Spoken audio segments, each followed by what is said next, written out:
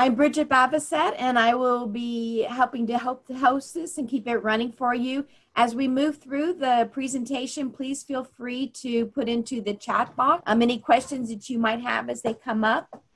We do want this to be very interactive, so please definitely, you know, keep the questions coming. This is with the School of Sustainability session for the More to Explore event. These are some pictures of our very happy students, of course. We're going to be having an amazing session this morning of how COVID 19 unraveled our food system. We're very fortunate to be able to have Kathleen Merrigan give this presentation. Again, my name is Bridget, and I graduated from the School of Sustainability, and now I work with Student Services and teach some of our study abroad courses and an online course. We're going to be looking at Q&A, the agendas, introducing myself, and then, of course, Kathleen. Colin is my colleague, and he's on the chat box helping to make sure that your questions get answered, and then we're here for you in the end with any student questions you might have. Um, sustainability itself is very important in the sense that it's a transdisciplinary program. So when we look at very current real world situations of what's happening, we look at it of how would an engineer approach this? How would a scientist? How would a biologist? How would a policy and governance worker? How would a social worker? We try to look at all these situations of how those different disciplines would look at solving a problem at a whole critical thinking approach. In the United States, only one in four adults have a job that's actually related to what they studied in college. We have found with our alumni, we're three times that number. 72% of our bachelor's degree graduates, alumni are working in the strand in the sustainability field. And we work at solving complex problems. So we're using critical thinking of how these problems relate to the environment, the economy, and society, and it's very real world opportunities. Our students have internships with companies and research projects through Capstone, the study abroad programs. They're able to work locally in communities just to make sure that before you graduate, you have that opportunity to have real world skills. And this is just a handful of the companies that have hired our graduates.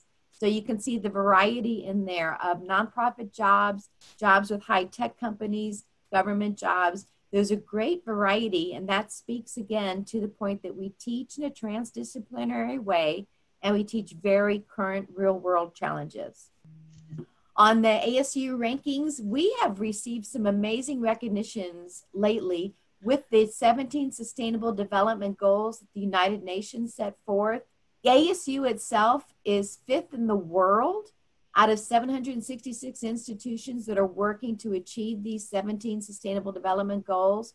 ASU has scored a 96.3 out of 100. And in the United States, we are number one. Only three American universities got into that top 100 and we're the first. We're number one there. And these sustainable development goals are looking at all types of issues, everything from helping to uh, diminish or eliminate poverty someday, working on peace and social justice, water systems. It's just an amazing opportunity to be able to work on those goals. And there's seven different track areas for our students. You will be learning a little bit about all of these subjects in every single class. And then you choose as you become a junior, senior, which of these areas is most meaningful for you, and you dive into that area as a track. So there's all types of city jobs with working with architecture, designing transportation systems. Energy needs to be not only renewable, but it needs to be abundant and something affordable. If we can't afford it, we may not have it up on our rooftops. Um, water systems are so important, and those, of course, are connected to food supply. Climate change affects all of these areas. Social transformation, of course, is understanding that you do make an impact, a powerful impact, and then with sustainable development, that's looking out towards our future. And all seven of these areas are connected to each other. So those are the majors in sustainability that um, track areas, the degree programs, there's Bachelor of Arts degrees, and you can look at international development, policy and governance, society, or that city focus with urban dynamics. And their Bachelor of Science degrees include economics and ecosystems and sustainable energy, materials, and technologies. And just two years ago, we launched our Bachelor of Science in Food Systems. Incredibly important that we understand with our growing population, we're heading to 9.6 billion people. We have to be able to feed people as we're losing farmlands, as cities build out. how can we have a good food system that can sustain us. So it is my pleasure to introduce you to Professor Kathleen Merrigan. Um, from 2009 to 2013, she served as the U.S. Deputy Secretary and Chief Operating Officer of the U.S. Department of Agriculture. An amazing background. We have been able to draw from her experience, especially with, as I mentioned before, our challenges with food systems. So she's going to be able to speak to you about how we have these challenges and possible solutions ahead. So at this point, I would love to turn it over to Professor Merrigan. Thank you, Bridget. I appreciate that. Hello, everybody. I hope you're staying safe and not going too stir crazy, being in the shutdown era that we're in. I've had my two college age students home with me for the last few months. Of course, as a mother, I'm enjoying that, but I know they're going crazy and it's been tough on us all. So I hope you remain safe and optimistic about the future because we certainly are at the School of Sustainability and at ASU we believe that uh, there's opportunity for the next generation of leaders to do better than we have in the past. And we're excited to work with you if you come here. So um, I just want to go back to Bridget's uh, note, notice of our accolades in terms of being cited as one of the universities that has really come through on the United Nations Sustainable Development Goals. And I think part of that is, is because unlike a lot of universities, ASU has professors of practice. That's what I am. I have a PhD from MIT. I write articles like a lot of different professors across universities. But with my colleagues as professors of practice, we've had a real heavy foot in the real world. We've been in government jobs, we've been in corporate jobs, we've run small NGOs. So we bring that work experience into the classroom. Just this semester, for example, since I head up food systems, and I'll describe that in a minute, I have students working um, at a mobile slaughter research project in Maui, Hawaii. I have students working on new carbon market plans up in the state of Minnesota. I have students trying to figure out how to make USDA conservation programs more amenable to Native Americans here in Arizona who are having a hard time gaining access. And then I have a group of students working with the Organic Trade Association trying to think about what does innovation mean for organic going forward. So that real world connection between your academic studies and trying to have an impact to change things for the better is a hallmark of an ASU education. So a few words about food systems. Um, you may not be familiar with this term. It's relatively new uh, um, focus of studies. Uh, there are a lot of land grant universities across the country and they're great, especially if you want to become a farmer or rancher. Those were set up by Congress in 1862 to help facilitate the mechanic and agricultural arts. Uh, but you're going there and you're studying soil science or you're studying um, uh, agronomy or uh, a particular production track. Food systems is a little bit different. What food systems is, is this thinking that we have to understand how everything is interconnected. Because without understanding how everything relates to everything else, you're only looking at a piece of the puzzle and that's why I think that Bridget and her colleagues asked me to speak to you today because when you see what's going on in the pandemic, what's going on in this world in terms of the food system, many of us are saying if we had a food systems lens and understanding, we might not be in the same predicaments that we are in fully at least. So this one graphic I'm showing you here is a food system and it just shows that you know, you can't just focus on consumption, you just can't focus on processing. You really need to have to understand the panoramic view of how it all relates. And then, of course, as a student and as you grow into your career, you're going to have a specialization for sure. But that foundational understanding of the interconnectedness, interconnectedness, excuse me, is very important. Next slide, please. Another way I try to describe food systems for people who are unfamiliar with this term is that old parable of the blind man and the elephant. You may have encountered this already in your studies. So the, the idea here is that the blind men are feeling up the elephant and then they're asked to describe what the elephant is. And if you feel the, up the trunk, that's one description, the tail another, uh, uh, the foot another. And it doesn't really add up to what the overall elephant is. So another way of just describing why we think a food systems view is important. Next slide, please.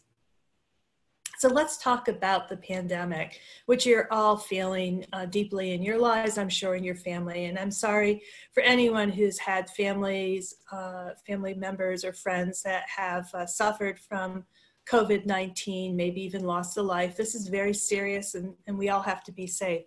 I want to, in reflecting on the food system, talk about eight pandemic realities that I think uh, really need greater attention. Next slide, please. So um, the first thing that we saw at the beginning of the pandemic was a supply chain disruption. Uh, you probably went to the grocery store um, with your parents and there was that mad panic for toilet paper, but it was also for a lot of the dry goods in the supermarket, um, a lot of uh, canned goods, and all of a sudden we saw empty shelves. And part of that is because our supply chain is very separated. So there was, um, you know, there's a lot of food that goes into the supply chain that goes to big institutional food buyers like uh, Compass Foods and Aramark and Sodexo, who would be serving a cafeteria, for example, at ASU. And then there was the supply chain that's going to the grocery stores and those two are really, really separate. And when the pandemic hit, it was really hard to cross over and move food that was in one supply chain into another. Another thing that happened, and this is what this slide is really suggesting, is that there's a huge amount of food that's imported and exported from, from the United States. We are in a global food supply. And one of the things when I was visiting the US Department of Agriculture in March with my students was uh, one of the administrators was really panicked about these containers that um, we ship food all around the globe with, and they had been piling up in China because of the, you know, early on what was going on was emerging in China in terms of the pandemic. They weren't coming back. The empty containers weren't coming back this way, and it was causing a real pileup here in the United States. Next slide, please. You've probably heard about wasted food. So how could there be all these people in these long, long lines at food banks, desperate for food, exposing themselves to others because they had to get the food, the heroic volunteers at the food bank, making sure people got this food. How could we have those long lines and yet you see on television food going to waste in the fields, um, being plowed under in some cases, being put in landfills in other cases. Well, that's because, again, this uh, problem of the fragile, rigid, really, um, distribution systems that weren't able to pivot. And um, that resulted here in Arizona, for example, of up to 125,000 gallons of milk being dumped by dairy farmers who really wanted to donate it. But they because they they worked really hard their cows worked really hard to produce that milk for people but they didn't have the ability and the finances to bring that milk to processing plants and get it bottled for distribution to food banks because under normal conditions, that milk would be going elsewhere.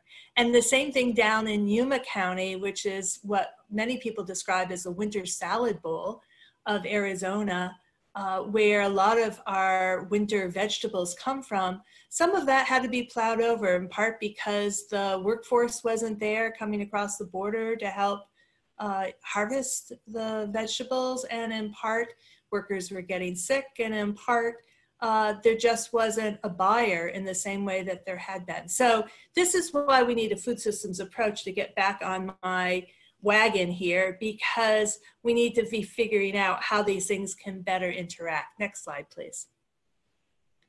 Hunger. Well, here is the food food bank um, line, one of many. Uh, in fact, the um, first food bank in the country, interestingly, was set up in Phoenix, Arizona. So we know a lot about food banks in our state. We have some great leaders who have um, really helped across the country understanding hunger and understanding about uh, times of crisis such as these. Um, we have seen huge unemployment uh, in the pandemic. You know this, and if your families are suffering from this, again, I'm very, very sorry for that. Uh, when people don't have jobs, one of the first things that they are anxious about is getting access to food. So the demand on our food banks has been phenomenal. At the same time, the federal government has passed uh, some stimulus legislation that includes increases in the SNAP program, the Supplemental Nutrition Assistance Program.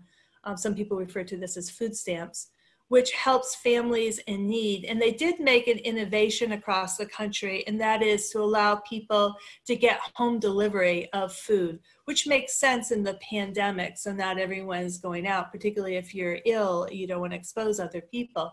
Um, so it required some rejiggering of federal programming expansion of federal programming. That first stimulus bill that Congress passed was $2 trillion with a T. Uh, so uh, there's been a lot going on, but still we face significant hunger. Next slide, please. Meat processing. So you may have heard about this too, because this has been one of the headline stories on the televisions and in the newspapers. If you still read newspapers, I guess you guys read online. I still am an old lady. I like the, the paper copy that, that comes to my door every day. Anyhow, um, huge illnesses across uh, people who work in the processing plant where meat is slaughtered and butchered and packaged to be delivered to your grocery store. Here you see a person looking at a pretty empty meat case um, in, uh, in the grocery store. I mean, some of that early on empty cases was really about that distribution problem I talked about. Um, but we're going to see more of this because some of the um, the milk, uh, the meat that was in the pipeline and in storage is starting to run out and we still see a lot of meat processing plants closed. They're very large um, and they do huge volumes in one place.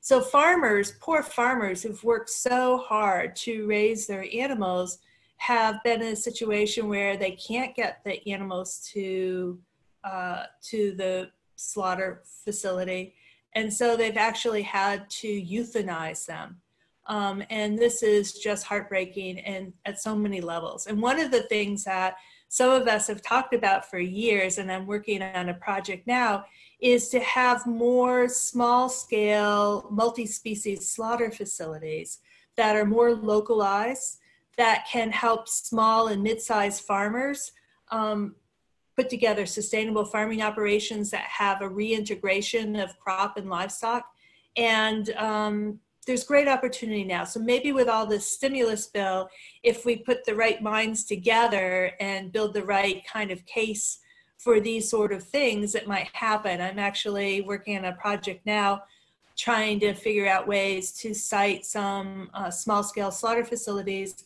on uh, Native American land and make it a economic job opportunity and revenue stream for tribes. Next slide, please. Restaurants. Okay, so um, the restaurant industry, we don't even know what it looks like in the future. I mean, now restaurants are opening, but a lot of places are saying, okay, at 50% capacity. So these restaurants who've been waiting a long time to open up now are trying to clear out half of their tables. And the margins on most restaurants for profitability is not great. And they just don't know how they're going to staff it when um, there's so few tables. So I don't know what the future brings here because more and more Americans have been eating their meals outside of the home. And it's not just white tablecloth restaurants we're talking about. We're talking about um, all kinds of uh, restaurants, whether it's a Chipotle or a Chick fil A, or you know uh, a small independent family-owned Italian restaurant. They're all hurting, and while the stimulus bill also provided aid to restaurants in terms of helping them pay their workers, in the long run, the expectation is a lot of these restaurants will never reopen. And the question is, how will that impact how we what we already we're seeing a lot more home cooking. Some people are rediscovering cooking in this pandemic which can be a good thing. Um, but a lot of the restaurants interestingly were buying the more diverse food crops. So uh, restaurateurs are trying to distinguish their cuisine from another restaurant. And now the farmers are going back to planting basic crops like a broccoli and a carrot, which a home cook knows what to do with, as opposed to uh, other crops, maybe a bok choy or a, a bitter melon, which uh, is unfamiliar. So it is having a ripple back effect all the way to the farms. Next slide, please. So small farms, I'm particularly concerned about. This has been my life's work to support small farms and to support a relocalization of our food system. You know, that buy local thing you hear about, I'm a big believer in it. And what I'm really interested in this slide is these are two headlines that are basically going back to back. One suggests that these small farms are thriving because they have relationships with their customers, and so they're hitting the big payday. And then uh, Stone Barns Center for Food and Agriculture up in Hudson, New York, and I'm on their board of directors. They did a survey of small farms and they found quite the opposite. And they did the survey because this was the, the headline that they were doing so well. And they found that uh, two, a third of um, farmers are expecting to go bankrupt by the end of this calendar year. So not only am I concerned about the loss of those local proprietors, those farms, uh, the ability to build that local food system, but there's all that farmland at risk. You know, what is the future at a time when we need to be attracting new young farmers to Americans, America's working lands, as we like to call them, because the aging of the American farmer and rancher, we're seeing a collapse of these small and mid-sized farms where people get their foot in the door into the enterprise of agriculture. Next, farm, uh, next slide, please. And what we're seeing across um, the food space, and this is not just food, this is across everything really, is growing inequality. So we know that sustainability, we like to say sustainability has three E's, economics, environment, and equity. And you need to be um, really good in all three things and you have to do all three things at the same time. We sometimes we describe it as a stool. And if you have uneven legs, then it's a wobbly stool. We want a stable stool. So I'm very focused on the E, uh, equity in sustainability. And right now we see that um, the problems of racial justice, as you're seeing across the country, uh, issues of social equity are really front and center. And there's this reawakening now that we need to do better. I know in my classes this fall, the first couple weeks, I've uh, changed out all the readings just to deal with this issue and what's been going on across the country uh, in the wake of, of George Floyd's death and other um, incidents. It just has to happen. And so that is a focus of our work. Worker protections. This actually follows on to the issue of um, equity because we see people uh, in the lower paid jobs um, facing the toughest circumstances. So this uh, slide, you see a picture of people in a meat packing plant that we talked about, working elbow to elbow as is described, um, cold, uh, it's always cold in there. I've been to a lot of these slaughter facilities. I've probably been to over a thousand farms and ranches across the world. So I've seen all of this. Um, these are tough jobs, and we're seeing a huge um, illness factor of COVID 19 across these workers. I don't think we understand all the reasons why yet.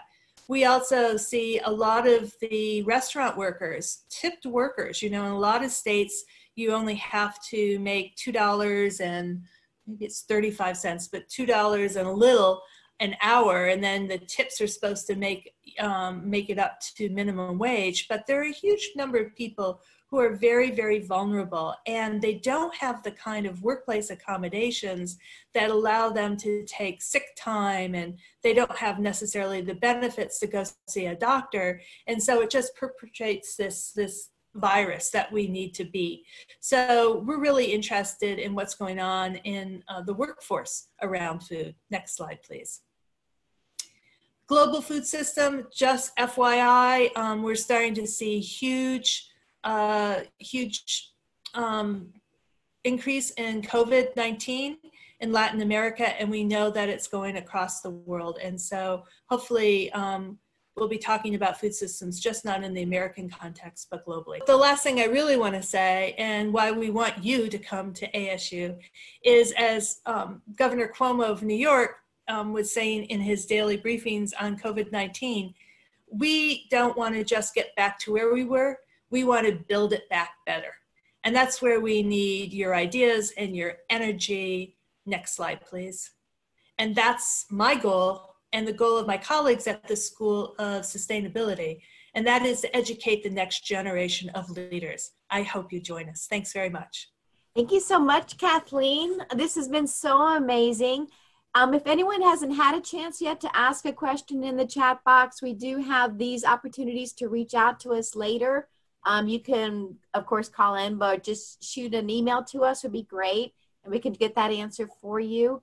This has been such an amazing presentation, Kathleen. I was hearing little bits and pieces about it in the news, and you brought it all together so beautifully and so relevantly of how this affects us and what we can actually do to help move forward with this. Anyone else on the call that needs to connect with us, please do so. We have other sessions coming up for more to explore uh, next slide, please. Um, these are sessions that'll be coming up uh, today, tomorrow, and Thursday. We're very fortunate that you can tell your friends about um, how you know these opportunities are so relevant in the world today. And we will have this uh, beautiful presentation again tomorrow morning at 11:30. Uh, so thank you so much for your time and your attention. Um, it's been amazing. And uh, Dr. Merrigan, we're so happy that you were able to join us. We feel so fortunate that you've been able to be here for us.